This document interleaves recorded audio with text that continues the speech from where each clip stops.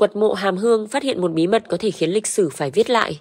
Thời cổ đại, có ba mỹ nhân sở hữu hương thơm riêng biệt cực kỳ nổi tiếng. Người thứ nhất là Tây Thi, nàng bị Việt vương câu tiễn hiến cho ngô vương Phù Sai.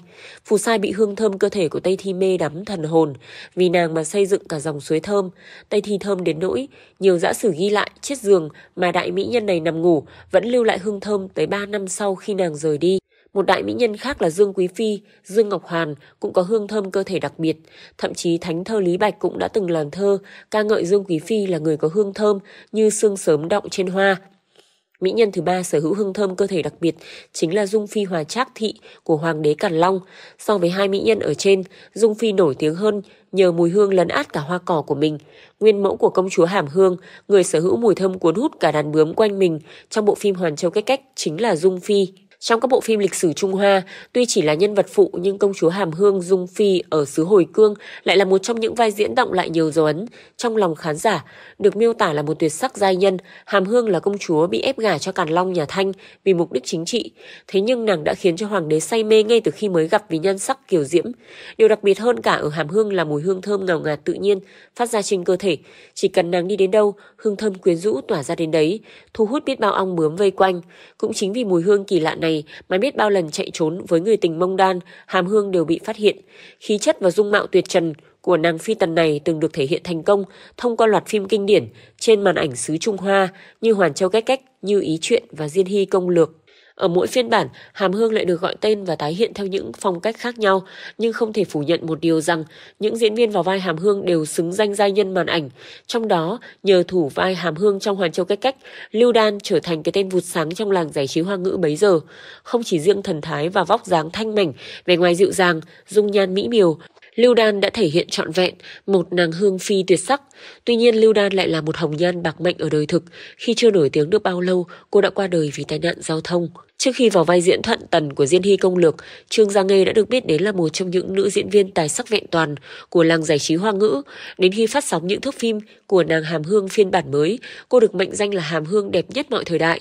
Bởi vẻ đẹp của mỹ nhân họ Trương lúc nào cũng toát lên nét kiêu sa, khí chất lạnh lùng nhưng vô cùng quyến rũ. Giữa dàn hậu cung của Như Ý Chuyện gồm những bóng hồng xinh đẹp, vai diễn Dung Phi, Hàm Hương do Lý Thấm đảm nhiệm được đánh giá là nhan sắc hàng đầu của cả từ Cấm Thành. Khác xa so với vẻ sắc sảo và lạnh lùng của Trương Gia Nghê, mỹ nhân sinh năm 90 thu hút người đối diện nhờ dung mạo thanh thuần trong sáng ngọt ngào.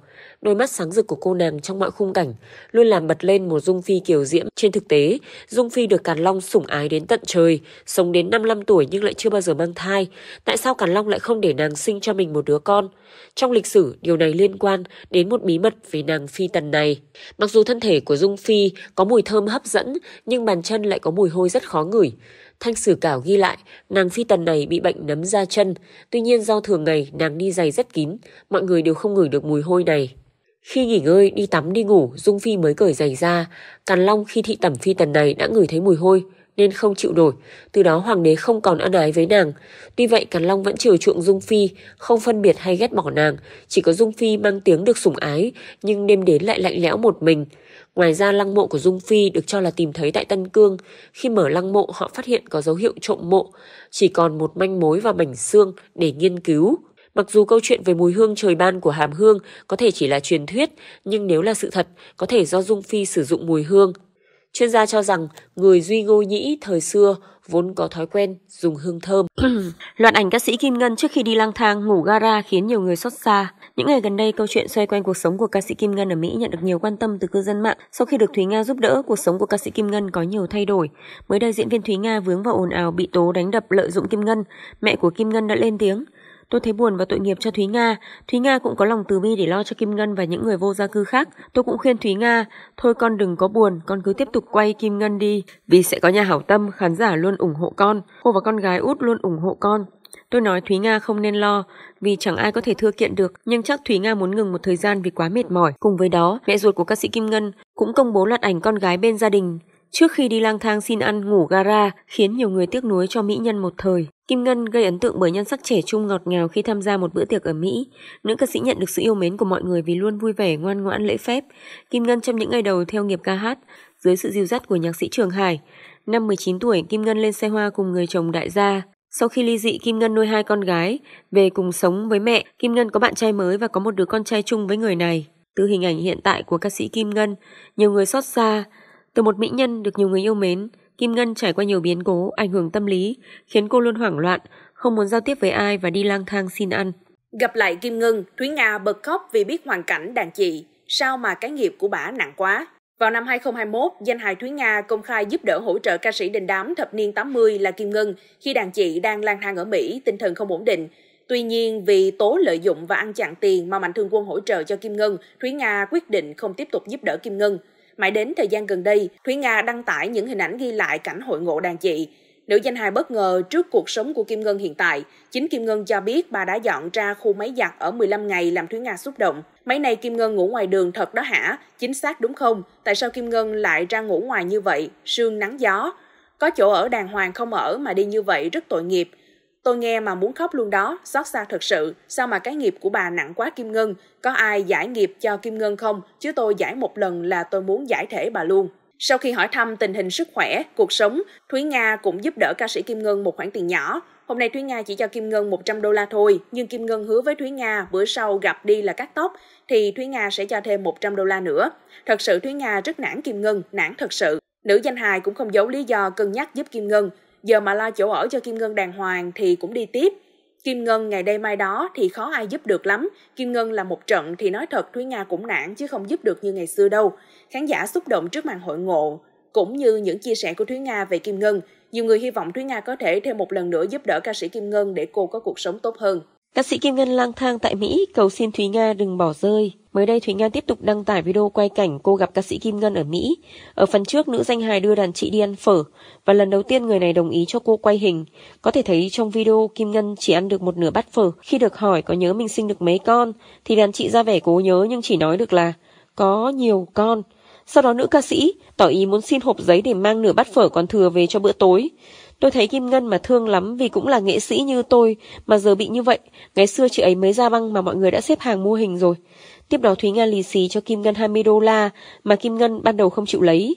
Nữ ca sĩ cúi đầu nói không lấy tiền đâu nhưng má cứ ghé thăm tôi, đừng có bỏ tôi. Nghe vậy Thúy Nga ngậm ngùi nói. Được rồi, từ giờ trở đi mỗi lần Thúy Nga gặp Kim Ngân ngoài đường là sẽ dẫn Kim Ngân đi ăn. Kim Ngân phải đi nhé. Thúy Nga cho Kim Ngân hoài được, không sao hết. Cũng trong dịp, khi được đàn em hỏi còn nhớ ai không, trong giới ca sĩ, thì Kim Ngân vẫn nói được tên của một số người. Điều đặc biệt là tại đây khi Thúy Nga chạy ra chụp hình, cùng một số fan thì Kim Ngân liền lấy bút ra ghi lại số series tiền để chơi vé số cào. Khi quay vào, Thúy Nga thấy vậy, tỏ ý không hài lòng và nói, biết ngay mà, mới cho tiền lì xì một cái là lấy đi mua vé số cào ngay, rồi tiền đâu mà ăn. Mấy ông bà ở đây cứ có tiền là hút thuốc hoặc đi mua vé số cào. Nói chung nói chuyện với chị Kim Ngân lơ mơ lắm, khi thì tỉnh nhưng lúc lại không biết gì luôn. Tiếp đó Thúy Nga bảo đàn chị rằng khi có thời gian sẽ đưa đi cắt tóc gội đầu và mua quần áo mới nhưng Kim Ngân nghe không hiểu. Cuối cùng Kim Ngân đứng dậy tỏ ý đi về, loay hoay mãi mà không xác định được hướng đi. Còn bảo, ở đây đứng chờ mẹ để đi mua điện thoại cho bố. Thôi con xin phép sang góc đường, ngồi đọc kinh Phật. Con không thuộc nhiều, chỉ có mấy kệ mà họ gọi là sự sinh thời của Đức Phật. Thúy Nga thấy vậy xúc động nói, bây giờ cứ mỗi ngày ra đây là Thúy Nga sẽ cho Kim Ngân ăn. Kim Ngân muốn ăn gì cứ nói. Nữ ca sĩ khi ấy nhìn đàn em và tỏ ý cảm ơn bằng cách cúi chào, rồi lững thững bước đi trên đường phố Mỹ. Kim Ngân sinh năm 1963, theo gia đình sang Mỹ định cư từ nhỏ. Sau đó cô gặp nhạc sĩ Trường Hải, rồi được ông nhận làm con nuôi. Năm 1983, cô được cha nuôi, giao trọng trách thể hiện ca khúc Không, của nhạc sĩ Nguyễn Ánh Chín trong băng nhạc Việt đầu tiên ở hải ngoại. Việc này trở thành bệ phóng đưa Kim Ngân nổi tiếng và gặt hái được nhiều thành công. Sở hữu nhan sắc xinh đẹp, nóng bỏng, lối trình diễn sôi động lôi cuốn. Những năm thập niên 80, Kim Ngân trở thành ca sĩ ăn khách, nổi tiếng bậc nhất hải ngoại dù giọng hát chưa đạt đến mức xuất sắc. Thậm chí giai đoạn đó, Kim Ngân còn mở một trung tâm âm nhạc mang tên mình với quy mô lớn. Nhưng khi đang ở trên đỉnh cao sự nghiệp, Kim Ngân lại sa ngã, lao vào cuộc sống buông thả khiến cô dần bị giới nghệ sĩ xa lánh, bị loại khỏi thị trường âm nhạc tại hải ngoại. Bên cạnh đó, cuộc sống hôn nhân của cô cũng gặp đổ vỡ khi chia tay chồng ở tuổi 30 và mất quyền nuôi hai con gái. Những biến cố trượt dài của cuộc sống khiến Kim Ngân dần hóa điên và đi lang thang ngoài đường, quanh các con phố của người Việt tại California, Mỹ để xin ăn. Thi thoảng cô tỏ ra hung dữ và chửi bới mọi người một cách vô cớ.